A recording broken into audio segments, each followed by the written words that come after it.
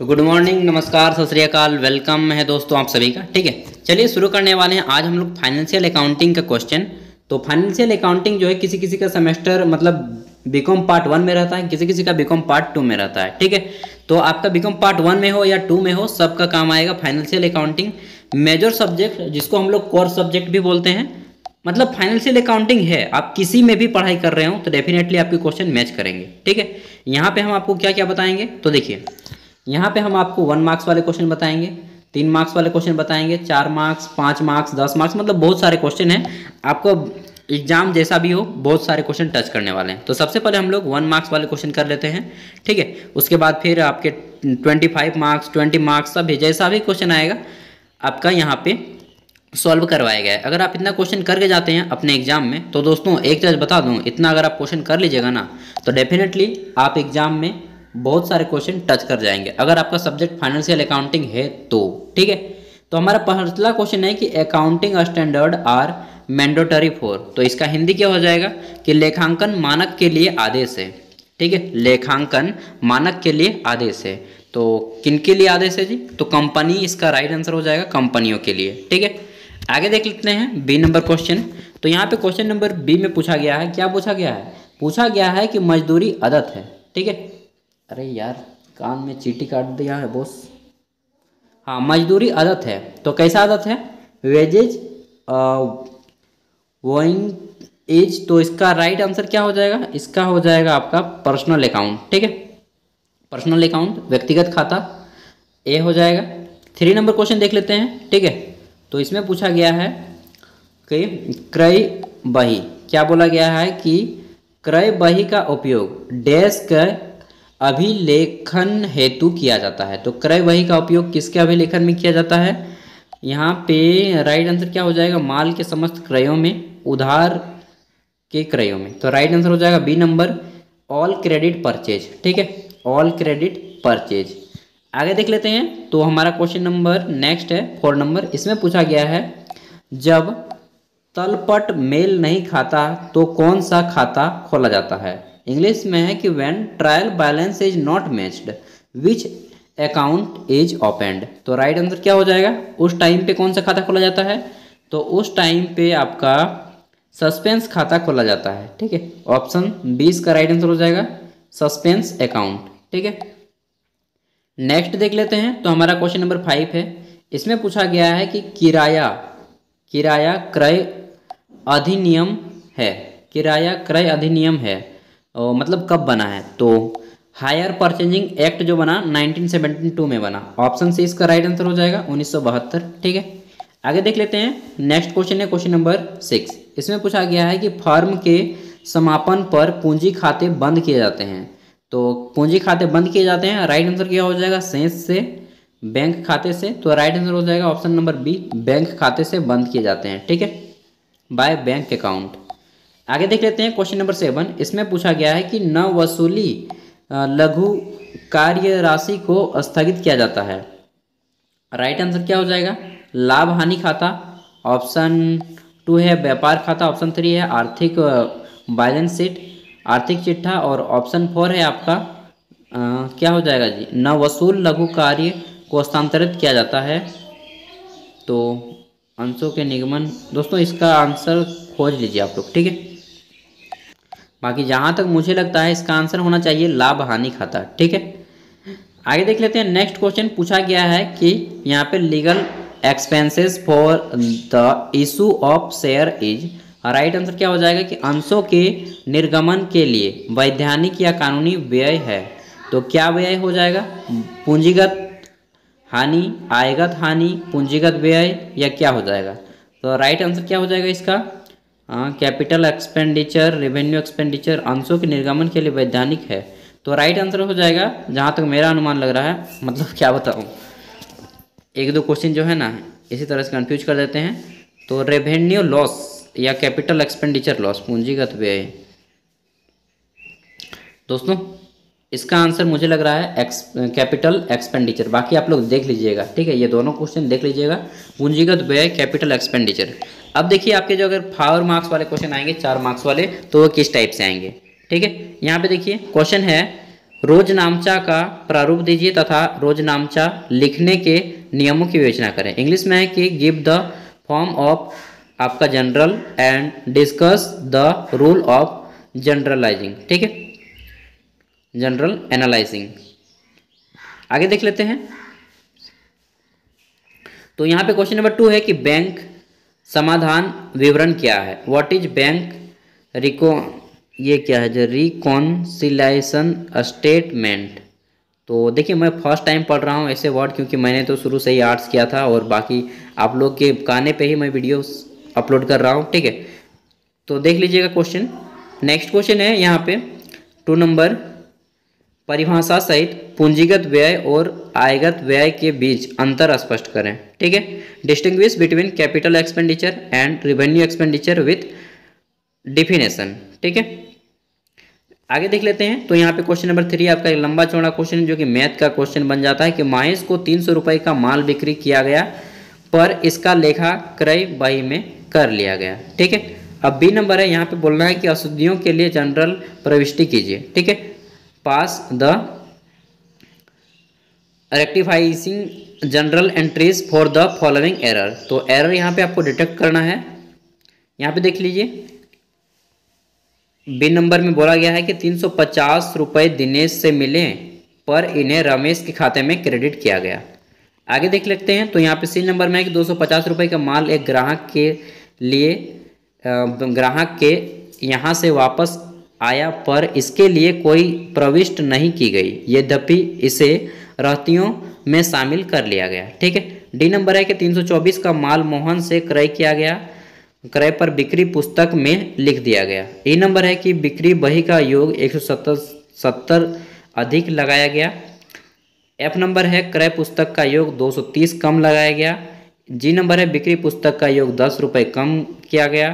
H number है, क्रय पुस्तक के योग 200 से अधिक लगाया गया। ठीक है? नेक्स्ट है आपका फोर नंबर क्वेश्चन इसमें पूछा गया है कि प्राप्ति और भुगतान खाता से आय व्यय खाता कैसे बनाया जाता है? ठीक है? How income and expenditure account is prepare from receipt and payment account next है आपका यहाँ पे फाइव नंबर ये आपका एंट्री का क्वेश्चन है। तो यहाँ पे देख लीजिए आप लोग, ठीक है? उसके बाद सिक्स नंबर क्वेश्चन आता है। इसमें पूछा गया है कि जब माल किस्त भुगतान पद्धति पर बेचा जाता है, ठीक है? When good are sold on installment system यानी कि इसको बोलते हैं किस्त इंस्टॉलमेंट ईएमआई हम लोग शॉर्ट में बोलते हैं, ठीक है? तब क्रेता और विक्रेता की पुस्तकों में लेखांकन के क्या लेखे किए जाते हैं, उसको बताना है, ठीक है? What accounting record is made in the book of the buyer and the seller, ठीक है? सेवन नंबर क्वेश्चन देखिए तो यहाँ पे आपका एंट्री का क्वेश्चन है।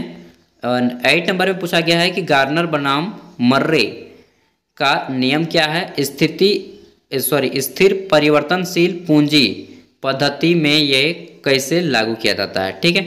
What is Garner versus Murray rule how is applied under fixed and यहाँ पे है कि फ्लक्चर फ्लक्टिंग कैपिटल सिस्टम। देखिए दोस्तों, मैं फ़र्स्ट टाइम ऐसे ऐसे वर्ड पढ़ रहा हूँ तो डेफिनेटली मुझे पढ़ने में थोड़ा सा हेजिटेट होगा।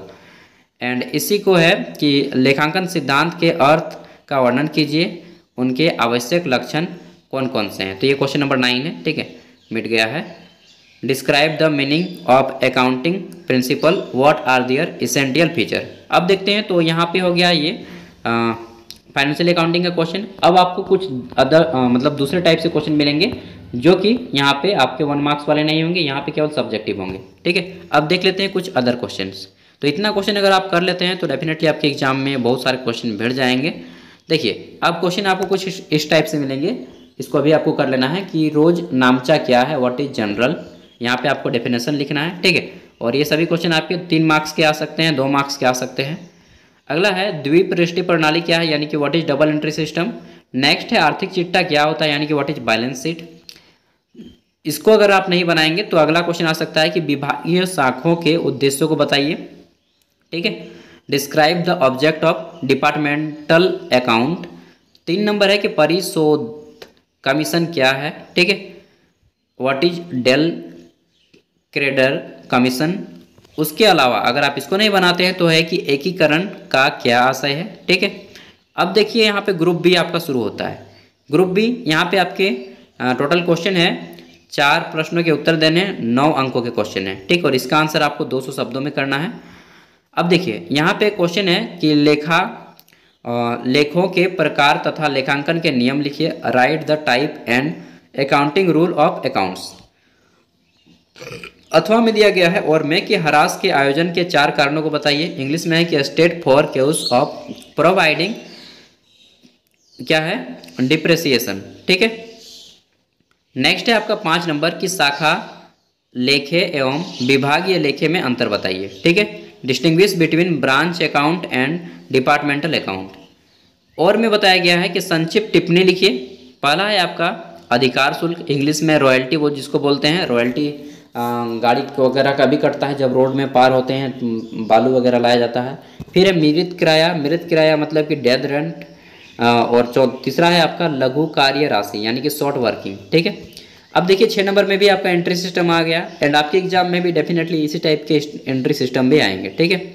तो यहाँ पे बोला गया है कि 31 मार्च 2021 को समाप्त हुए वर्ष के लिए तेनाली क्लब रोहतक का प्राप्ति और भुगतान खाता बनाए ठीक है? अब देखिए, आपका इसी टाइप से आएगा क्वेश्चन एंड नेक्स्ट क्वेश्चन है, अथवा में कि ब्याज सहित एवं ब्याज रहित क्रय विक्रय क्या है? What is cum interest and and test purchase and sales ठीक है? नेक्स्ट है आपका, अंतिम खाते बनाने के लाभों का वर्णन करें। इंग्लिश में है कि explain the advantage of preparing final account next देखिए तो यहाँ पे आपका है कि मैनुअल अकाउंटिंग एंड कंप्यूटरकृत अकाउंटिंग सिस्टम में अंतर बताइए। मैनुअल अकाउंटिंग मतलब हाथ से किया गया अकाउंटिंग और कंप्यूटर कंप्यूटरकृत मतलब जानते ही हैं कंप्यूटर से किया गया अकाउंटिंग तो difference between manual accounting and computerized accounting ठीक है?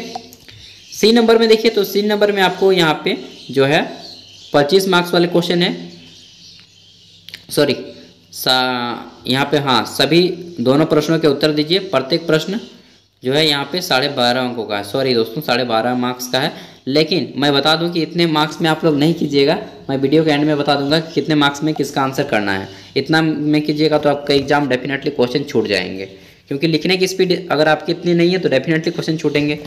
एट नंबर क्वेश्चन देखिए, यहाँ पर आपको जो है एंट्री करना होगा। तो ये एक लंबा चौड़ा क्वेश्चन हमारा यहाँ पर बन जाता है। और आपके दो तीन क्वेश्चन आएँगे इस टाइप से बड़े बड़े ठीक है? अगला है, हरास लगाने की विभिन्न पद्धतियों को समझाइए एवं उनके गुण, दोष तथा उपयोगिता का उल्लेख करें। इंग्लिश में बोलेंगे कि discuss the various method of changing depreciation and state the merit and demerits and utility of each of them ठीक है? नाइन नंबर में है, देखिए, दोनों में गार्नर का क्वेश्चन ये आपका बहुत इंपॉर्टेंट क्वेश्चन हो जाता है गार्नर का, ये आपका आ ही सकता है एग्ज़ाम में। ठीक है? तो नोट कर लीजिएगा कि गार्नर बनाम मर्रे नियम पर एक निबंध लिखे। डेफिनेटली ये क्वेश्चन जो है लगभग हर बार पूछा जाता है, किसी भी यूनिवर्सिटी में पढ़ाई करते हो, कोई मतलब नहीं है, हर बार पूछा ही जाता है ये क्वेश्चन गार्नर बनाम मर्रे के नियम पर एक निबंध लिखे. Write an essay on the rule Garner versus Murray ठीक है? आगे है Tally E R P nine में विभिन्न प्रकार के अकाउंटिंग फीचर को स्पष्ट कीजिए. ठीक है? अब देख लेते हैं तो यहाँ पे टोटल आपके क्वेश्चन कंप्लीट होते हैं. तो दोस्तों, अगर आप इतना क्वेश्चन कर लिया चीटिंग में काट दिया, मैंने बताया था ना।